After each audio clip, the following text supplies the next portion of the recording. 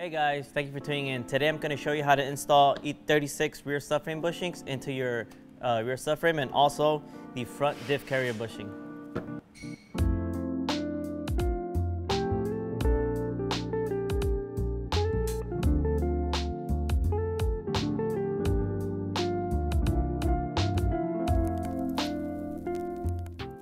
So before we begin the actual install, I'm just gonna go over the different durometers we offer when it comes to the bushings. Uh, durometer means just how stiff the bushing is. So we have 80A, which is our red.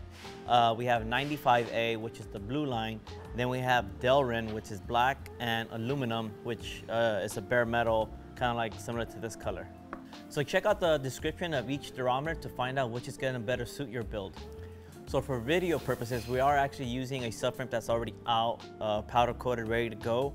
Uh, if you want a full detail on how to remove the subframe from your car, how to remove the bushings, there'll be a link in the description below. Uh, but for now, let's continue with this. So one of the things you're gonna notice when you have your subframe out is the different diameter on the inside of the races. Ours match the factory ones. Uh, so the one thing to know, the bigger diameter one is gonna go on the rear of the subframe. The smaller diameter goes in the front of the subframe. So that's the main key when it comes to the races. As for the bushings, they're all labeled. They all have a lower rear or all have a lower front.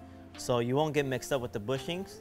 The one thing I recommend is when you're actually installing them is position the subframe how it actually goes in the car. So for example, this is the front of the subframe and this is the top of the subframe. So you want to position it that way so it's a little easier to know where the bushing is going to go because you know this is the front, this is the rear, and this is the top, and then this is the bottom.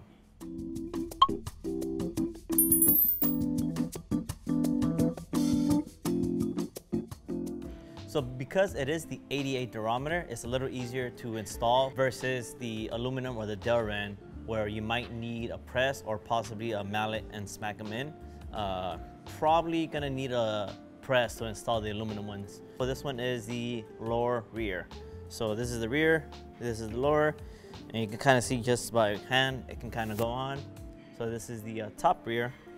So it's gonna go on here, that goes in, and then rear takes the bigger inside diameter raise. Just push that in.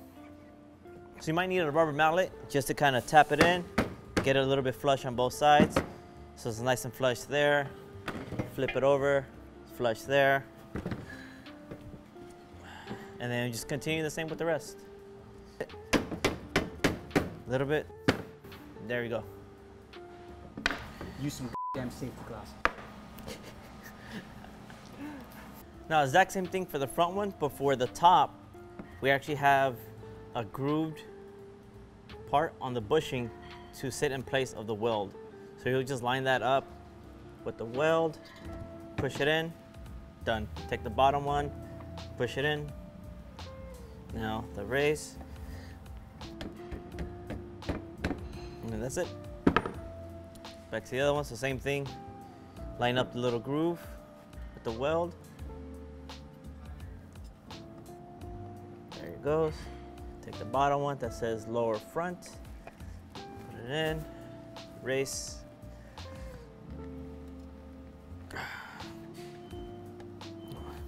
There you go. So that's it for the bushings. Next, gonna show you how to do the uh, front diff carrier.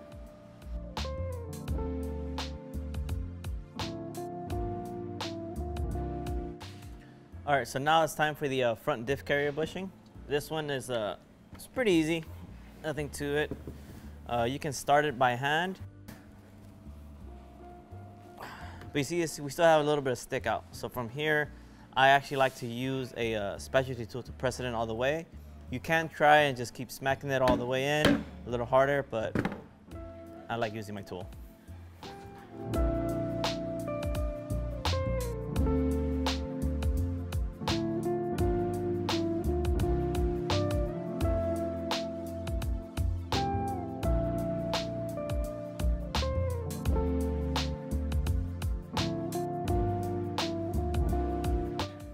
So you can see I rigged up a little chingadera here just to got the bushing pressed all the way. So you can see the gap is closed.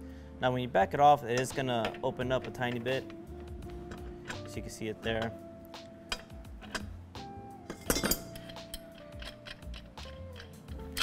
So the bushing is tapered, uh, and that's on purpose. It adds more strength to the lip.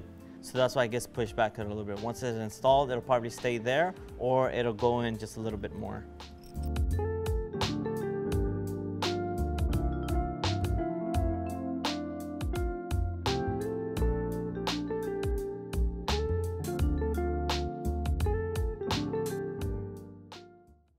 So there you have it. Easy peasy, lemon squeezy, nothing to it. Everything is labeled for you. Just remember, bigger inside diameter goes in the rear of the subframe. The smaller inside diameter goes in the front of the subframe. Other than that, straightforward. Thanks for watching. Tune in for more videos.